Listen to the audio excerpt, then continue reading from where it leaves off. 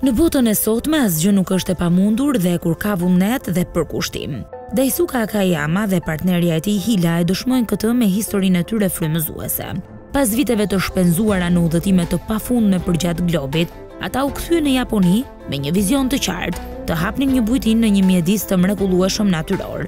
Por çfarë i bën të jashtëzakonshëm këta dy njerëz?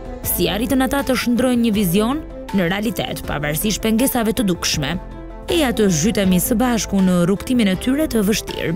Japonezi Daisuke Kajiyama, pas shumë udhëtimesh, u kthye në shtëpi për të ndjekur ëndrrën e tij të hershme, për të hapur një bujtinë. Në vitin 2011, Kajiyama u kthye në Japoni me partneren e tij izraelite Hila, të cilën e takoi në Nepal, dhe dyshja u përpoqën të gjenin vendndodhjen e përsosur për sipërmarrjen e tyre të ardhshme. Megjithatë, kishte disa pengesa të mëdha në rrugën e tyre. Si fillim, Kajiyama kishte shumë pak para, pas vitesh udhëtimi në botë nëpër destinacione si Koreja, Tajvani, India, Nepali, Guatemala, Kuba dhe Kanadaja.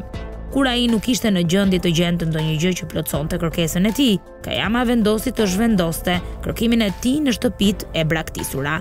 Ai gjeti dy prona afër njëra-tjetrës, një ish-fabrikë çaji jeshil dhe një shtëpi të një fermeri të vjetër të vendosur afër lumit. Pronat kishin qenë të pabanuara për gati 7 vjet.